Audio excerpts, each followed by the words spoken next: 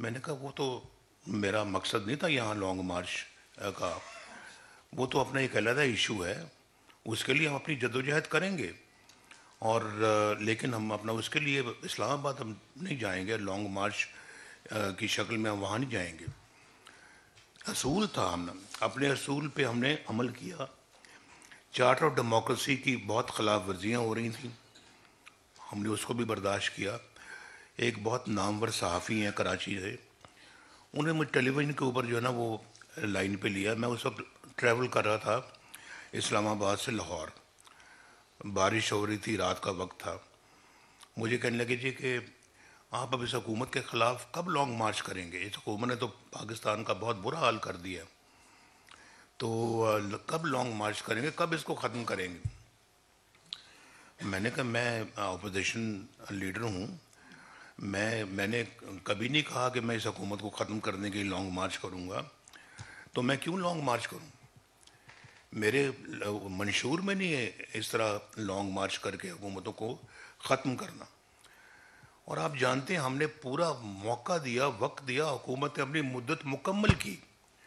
जब मुकम्मल की तो मैं गया मोहतरम जरदारी साहब के पास, सदर थे पाकिस्तान के। मैंने कहा, आप अभी आपके छः महीने और हैं। आप हमारे सदर हैं जरदारी साहब। हम इलेक्शन हो गए हम जीत गए हैं। तो मैं जनाब, आप सदर हैं।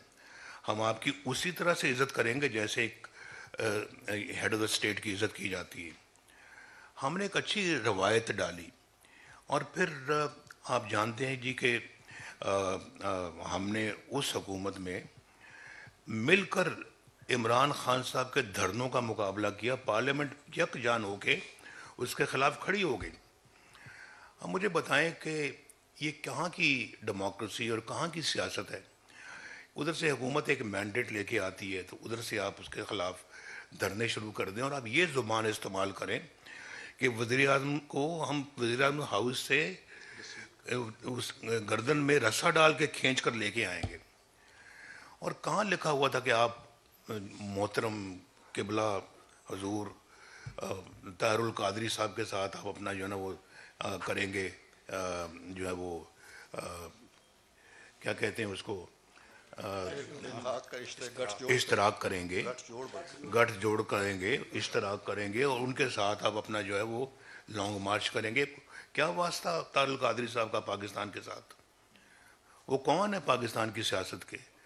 उनके साथ आप गठजोड़ कर, कर रहे हैं और और भी अफराद और अनासर बीच में मिले हुए थे। अभी गवर्नमेंट बनती है इलेक्शन होते हैं आप पैंतीस फंक्शनों की बात करते हैं वो सुप्रीम कोर्ट के चीफ जस्टिस जो कि बेहतरीन चीफ जस्टिस थे। मैं दिल से उनकी बहुत इज़्ज़त करता हूँ। उन्होंने नासरुल मुल्क और उन्होंने ये फैसला सुनाया कि कोई पैंतीस फ़ंक्शन वाली काम बात नहीं है कुछ नहीं है सब इलेक्शन फेयर हुए हैं। और मैं जा रहा हूँ भाई आपके पास वहाँ पे बनी गाला में। बतौर वज़ीर अजम बनी गाला जा रहा हूँ आपके साथ आपके घर में जा रहा हूँ। मैं ये भी कह सकता कि मैं नहीं आता आप आए। मैं तो पाकिस्तान की खातर गया था उनके पास। कि बैठे आप बात करें क्या आप चाहते क्या हैं? कुछ भी नहीं चाहते। बाद में पता लगा जी कि, कि, कि सड़क बनी गाला से बना दें आप इस्लामाबाद से बनी गाला तक।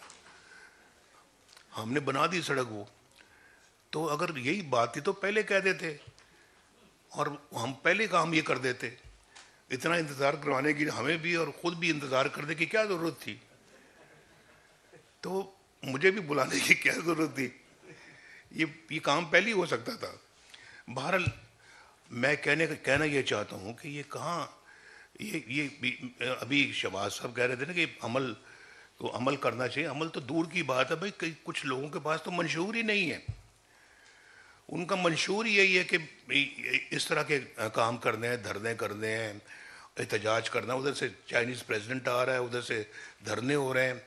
वो एक दफ़ा नहीं, दो दफ़ा अपना प्रोग्राम मुलतवी कर कर बैठे वो, पाकिस्तान आने का। भाई, अभी हमारे ख़िलाफ़ ये सब कुछ हुआ है।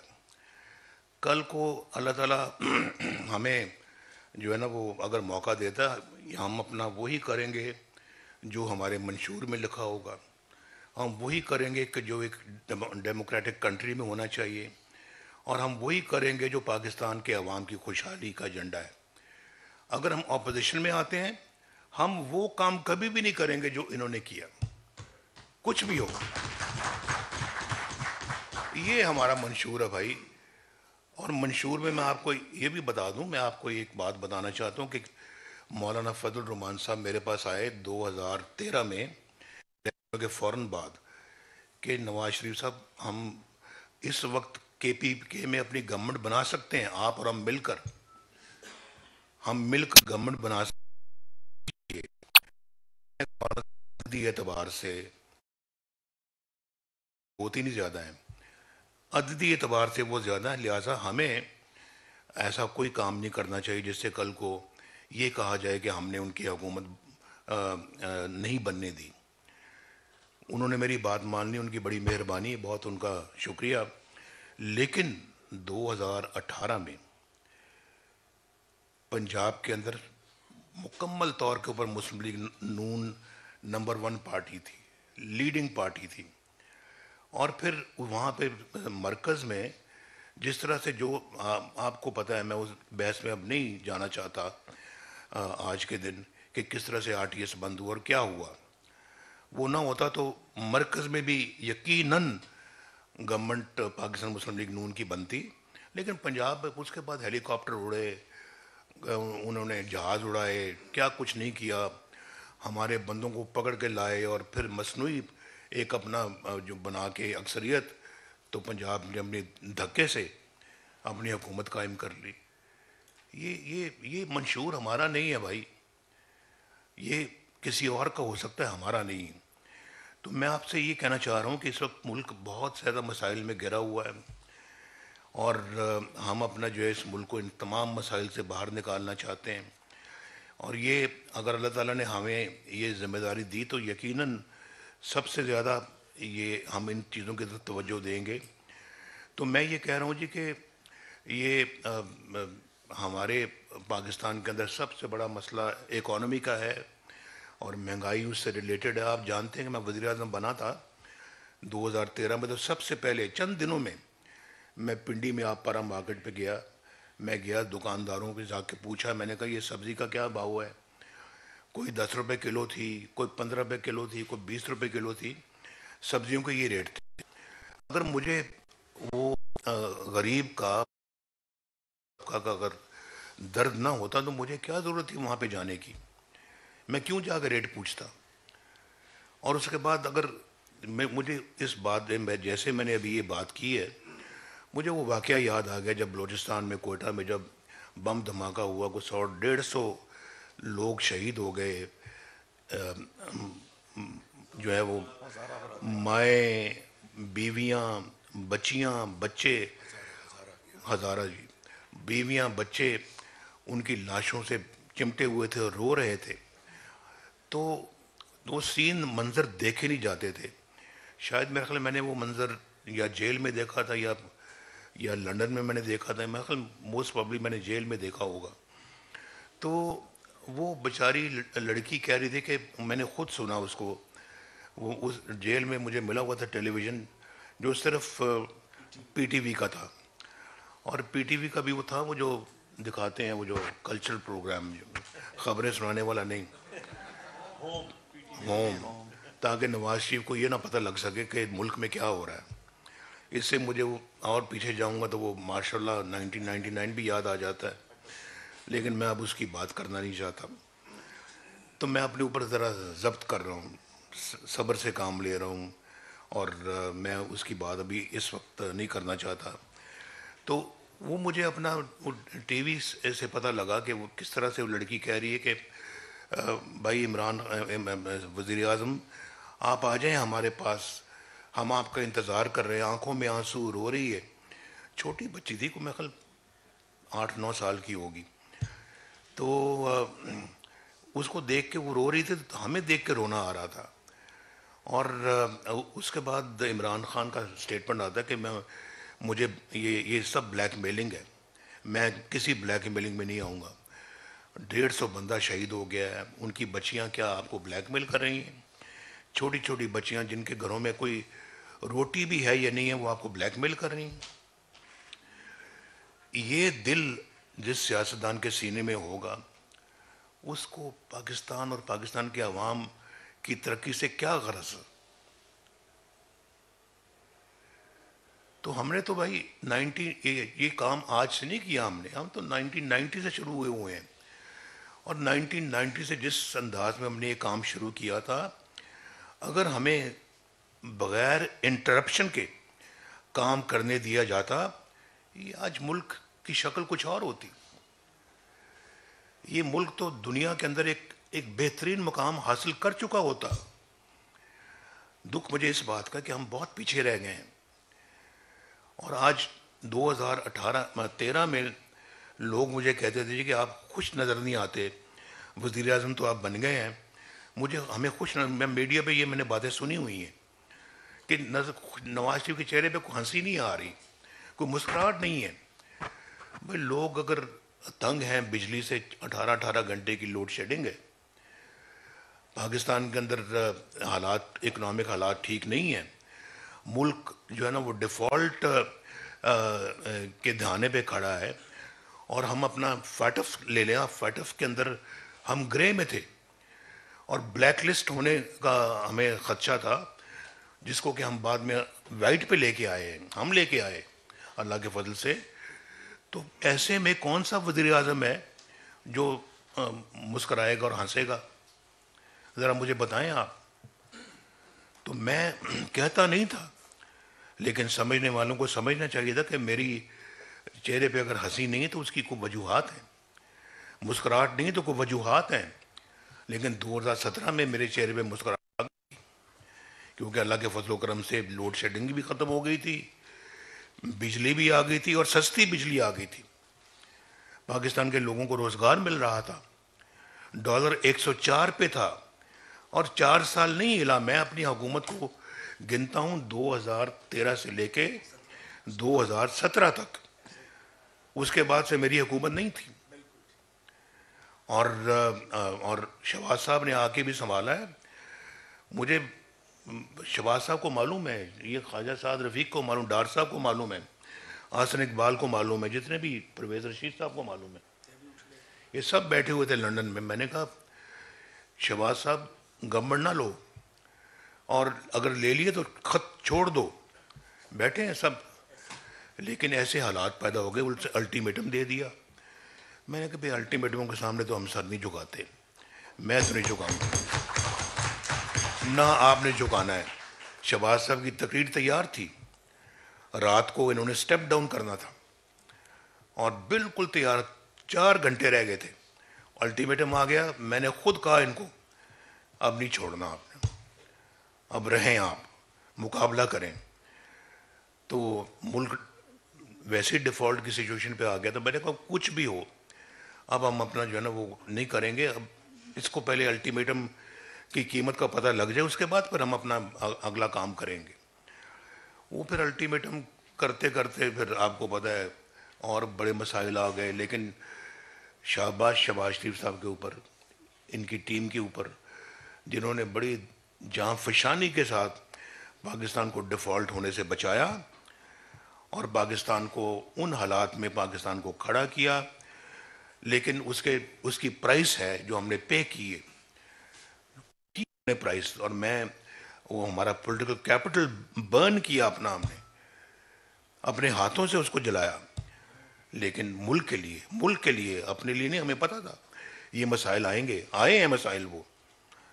लेकिन हाँ, ये मुल्क का मामला था। हमें करना पड़ा और हमने किया और आइंदा भी खुदा ना खास अल्लाह ना करे। कोई ऐसा वक्त आया तो फिर भी करेंगे। ये जेलें ये जेलें वेलें जलावतनियाँ काटने के बावजूद करेंगे। मुल्क के लिए करेंगे। खड़े रहेंगे मुल्क के लिए। मैं बिल्कुल आपको सच कह रहा हूँ दिल की बात कर रहा हूँ। और फिर देखें आपने इस मुल्क के अंदर बनाया किसी ने क्या है? कोई आज पूछे तो सही बाबा आप पूछें। बड़ी हुकूमतें आई हैं, इसकी भी हुकूमत आई है। मैं तो अब चलें, अभी पिछली हुकूमतों को आप बाद में पूछ लेना। इसको आज पूछें कि तुमने अपने चार सालों में किया क्या है? एक मंसूबा बता दो यार, एक मंसूबा, उस पर उंगली रखो। ये हमारा मंसूबा है। क्या मंसूबा? आपने महँगाई करके गरीब की कमर तोड़ दी, बिजली आपने महँगी कर दी। मेरे ज़माने में तो कोई महँगाई नहीं थी, जब 2017 में कोई महँगाई नहीं थी। महँगाई बाद में हुई है, इनके चार सालों में हुई है। ये सबको समझना चाहिए, इस बात को समझना चाहिए।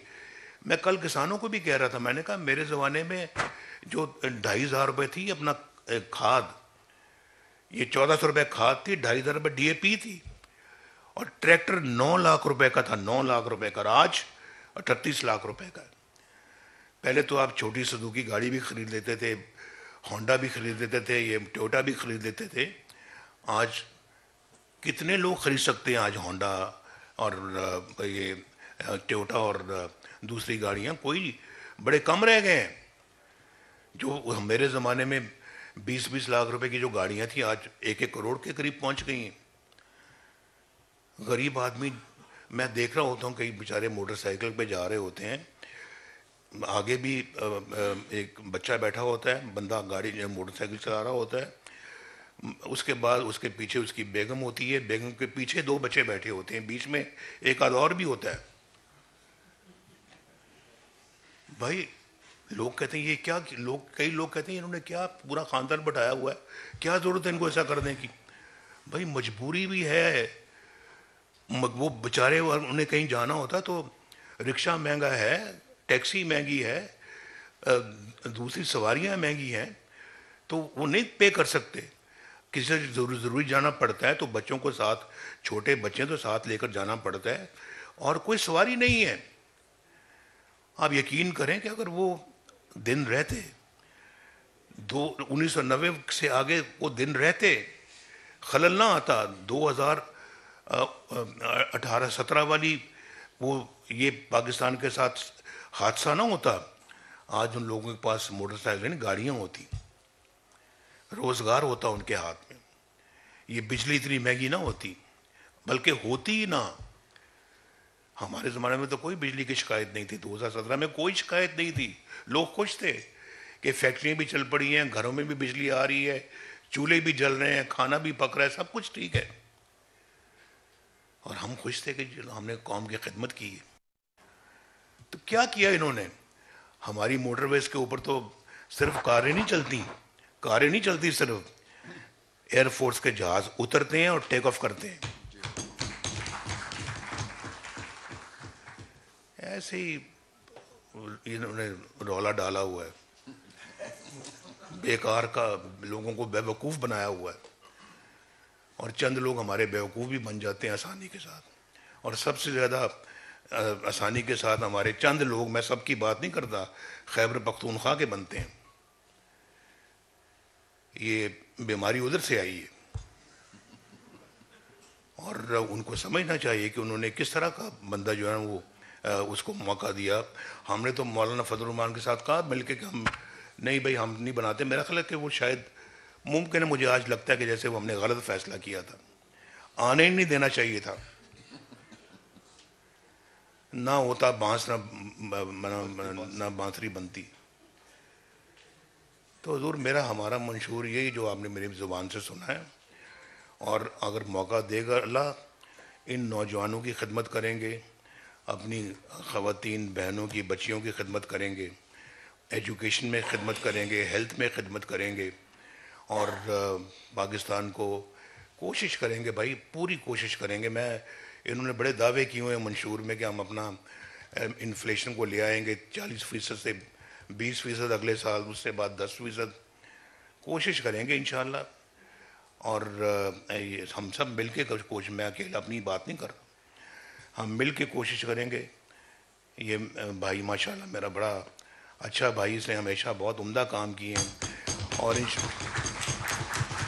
लाहौर में मेट्रो बस, मुल्तान में मेट्रो बस, इस्लामाबाद में मेट्रो बस, उनसे एक नहीं बन सकी वहाँ पे पेशावर में। वो भी जो मेट्रो बस बनी वो आपके सामने ऑरेंज लाइन आपने देखी यहाँ पे, माशाल्लाह। ये ऑरेंज लाइनें आज पंजाब के और पाकिस्तान के हर शहर में होती, अगर ये खलल ना पड़ता।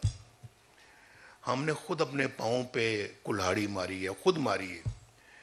ये मेरे दोस्त बैठे हुए हैं फ्रंट लाइन में। ये सब मेरी बातों को सुन दिल दिल में कहते होंगे नवाज़ शरीफ क्या ठीक रहा।